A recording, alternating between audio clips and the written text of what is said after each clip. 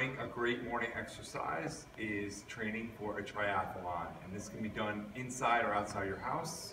Basically, you need a chair, no arms.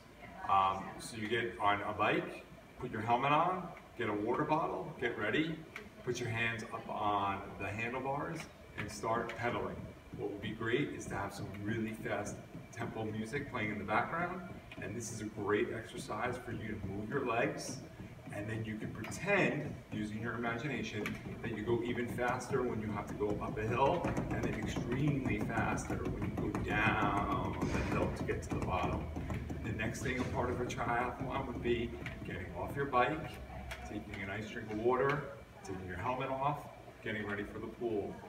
When you're in the pool, you can do this either sitting down or standing up. You want to practice putting your arms out and just practice like you're swimming in a pool, freestyle, moving your arms back and forth, back and forth.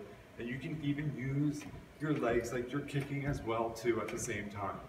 And if you want, you can even do a backstroke and take turns switching freestyle and backstroke. And when you get done with the water exercise, you can simply stand up, and practice your running part of the triathlon.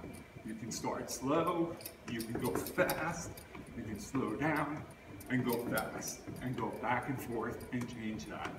And that's a great morning exercise before you come to school where you train for a triathlon.